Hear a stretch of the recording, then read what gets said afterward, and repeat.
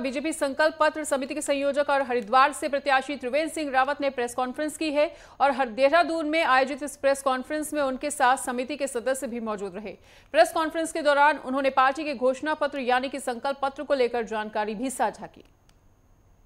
पंद्रह फरवरी को इसकी लॉन्चिंग हुई थी, इस अभियान की शुरुआत हुई थी और लगभग सत्तर से ज़्यादा लोगों ने सत्तर विधानसभाओं में अपने सुझाव दिए हैं।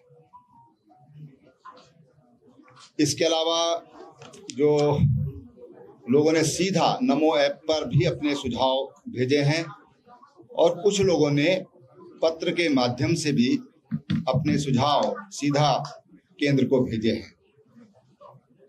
कुल मिलाकर लगभग समाज के 16 से भी अधिक जो विविध सामाजिक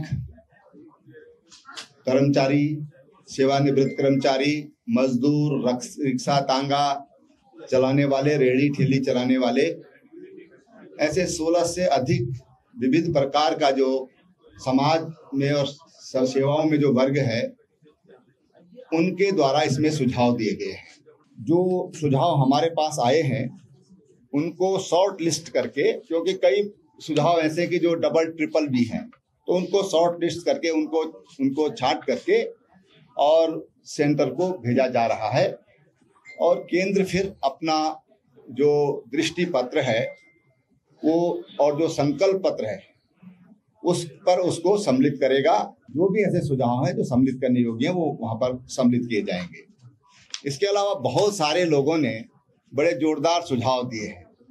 कि साहब हमको आप ये बताइए कि नरेंद्र भाई मोदी को दोबारा तिबारा कैसे प्रधानमंत्री बनाया जा सकता है? इस तरह की भी बातें लोगों ने भेजी है। किसी ने कहा कि मोदी जी को हमारी जय श्री राम बोल देना किसी ने कहा राम राम बोल देना। इस तरह के भी तमाम तरह के सुझाव आ, समाज के द्वारा हमको मिले हैं।